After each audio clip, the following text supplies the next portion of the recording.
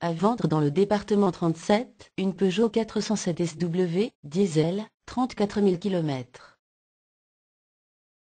Millésime 2010.